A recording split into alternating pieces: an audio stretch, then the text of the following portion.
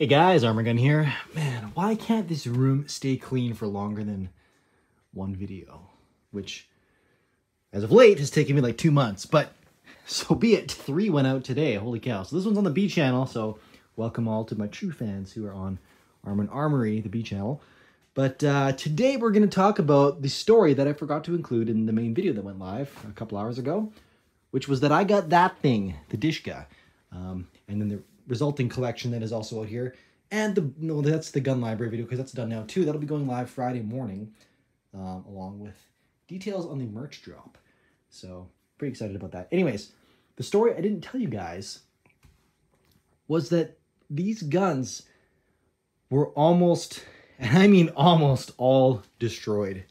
Um, so the way I framed it in the video was actually, it's true, of course. Um, I Wolverine Supplies did get this collection in. They did let me know about it. And uh, I did get it. But I found out about it back like last spring, like April or May. And uh, I was following up like every month, like, yo, what's going on with this collection? What's, what's happening? Like, you know, I'm really interested in a bunch of it. Like, great. Um, and then it was just, it was stuck in like estate limbo um, because unfortunately, whoever had these guns before was a very good collector. He got nice stuff. The STG-44, the thing is a freaking beauty.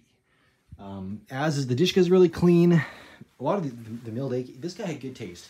And there was more stuff here, and I'm sad to say some of it was destroyed. Couldn't save them all, um, despite what most of you think. I'm not actually made of money. But uh, anyways, we'll get to that. Uh, so anyways, awesome collection, but unfortunately this guy passed away. Whatever, the, the guns went to the estate, and this estate guy was like, I don't know, I don't know what the heck he was doing because it was taking forever. But I'm a patient dude. I recognize that things in the gun industry move slow sometimes. That's okay. That's okay because usually it works in my favor. Because usually, again, I find way more than I can afford at any given time, and then I have to space it out. So I was like, you know what? I had some other stuff in the works. Plus, I've been saving up for this ranch purchase. I'm like, you know what? Just that's fine. It's fine. It, it's not ready to go right now. That's okay. It's cool. And then a buddy of mine sends me a text at freaking 3 a.m. when I'm in the freaking Toronto airport. Freaking A. Um, I was sleeping in the rental car waiting till the airport actually opened, security opened at 4 a.m. so I could actually go and check in for my flight back home after a long week away of work. Ah, he sends me a, a screenshot. Um, I think I just gotten through, it was just about to go through security, that's before security. And uh, it's this post on this forum of all these guns saying they're going to be dewadded, they need to go immediately, and the estate's closing out or whatever like that, something like that. I'm like, what the heck? Like I've like had a line on these things for months, and uh, here all of a sudden they're getting. I, I didn't even know at this point in time if they were already dewadded, like dewadded in deactivated, in welded up, as in a wall hanger or a desk, uh, a paper paperweight, basically. Um, no license required, so it's a good way to pass down heritage and things like that. But I mean, that's just sad. I was, anyways, long story, but they were. I, I was unsure at that point, so I sent emails saying like, "Hey, what's going on?" Like, I thought I was kind of first in line for this stuff, and I had already said everything I wanted. I already come and checked them out and taken pictures of them and looked at them.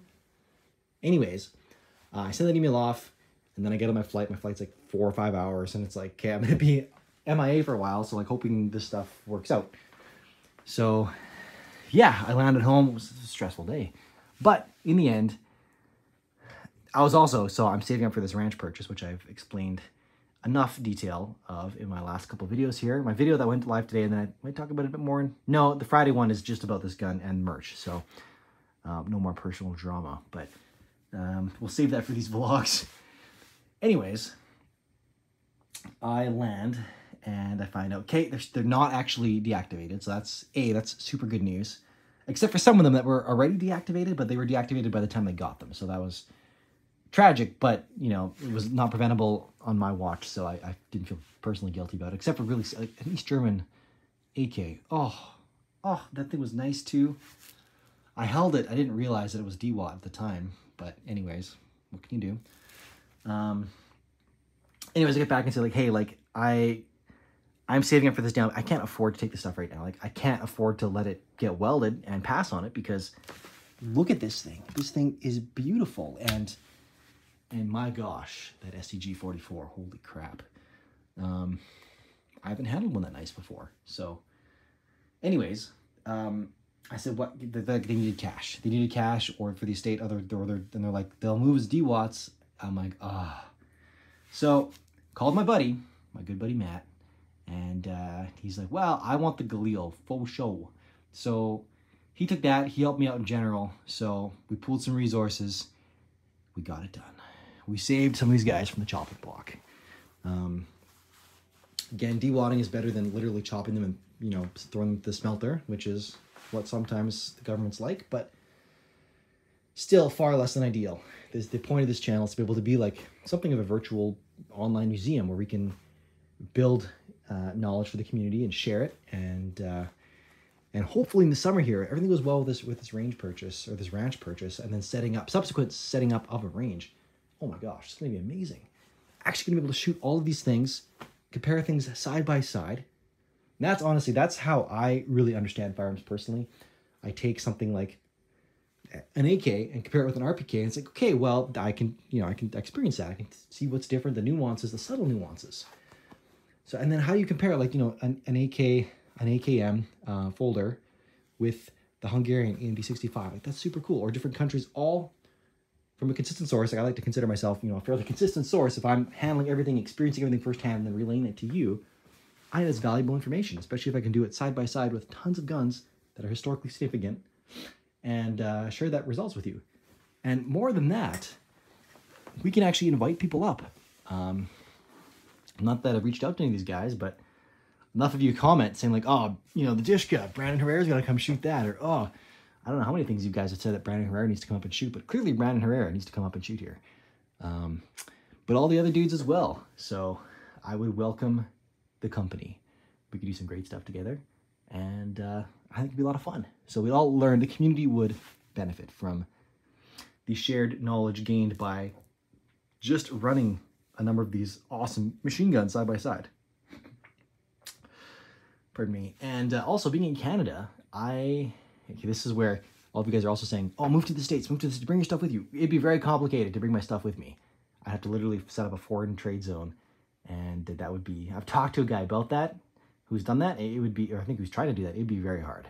So, um, not happening anytime soon. I'm my life's in Canada, and right now I've got access to international guns because Canada has open gun import laws. So I can get all the cool, crazy stuff out of Europe and Africa, and I've actually got a bunch of stuff coming, like another 30 guns coming from Czech, on top of the other 30 guns I got coming um, that I bought like two years ago, and didn't have room for on my license because my my uh, bureaucratic overlords were a bag of dicks and chose to just drown me in red tape rather than help me.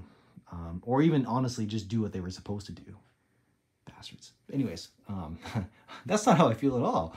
Anyways, um, the guys that are running it now are actually running it like they like a business. Like they, they should be running it. They're running it for the right reasons, and I'm incredibly grateful to them. Um, anyways, uh, that's that's the spiel for today. These were going to all get chopped up. Thank you to Matt and everyone else that helped me with this stuff. Thank you to all of you to continue to support. Um, please consider jumping on the merch train because this is just the start. I didn't spend enough time talking about this awesome hoodie in my video that's going to drop Friday. This thing is really cool. This has already been washed a few times and it's still awesome. It's still covered in dog hair because I have fluffy animals. And that's just something you, you just, that's part of life. It's a fact of life when you have fluffy animals. Uh, we also have a battle worn logo shirt. Really fond, fond uh, I'm really fond of this. It's a generic um, international spec logo. And we've got the olive drab in both the Canadian version, which is my original logo, and also with a bigger star here, again, generic. And for the bros down south. And we got a Boom Diggity tee um, complete with logo, or sorry, signature. I drew that on a sticky note, by the way, and they processed it into a, processed it into a graphic. I was super impressed with that. And a little sleeve logo as well, you know, it's all good. So kindly check that stuff out. I'm going to be drawing, I have so many tee ideas. I got like a hundred tee ideas that are all going to be super fun. So we're going to get after it. It's going to be a good time. And with that, I'll bid you adieu to the next one. Thank you all, because through your support, you enable me to save guns like these from welders who are honestly just trying to do their job, but still, it's tragic. Anyways, actually, what you're doing is you're saving that welder from. He's gonna be sad inside. He knows he doesn't want to weld up a gun, so you're do it for him. Do it for that welder that doesn't want to have to. The executioner who does not want to drop the axe. That's who you're you're saving. So at this point, I'm just rambling. So we're gonna wrap it up here. Look for the video Friday, talking about the beautiful NATO Bren. Is it a total Chad, a based Chad of an LMG, or is it just overrated? We'll talk about it. See you guys. Arm and Gun out.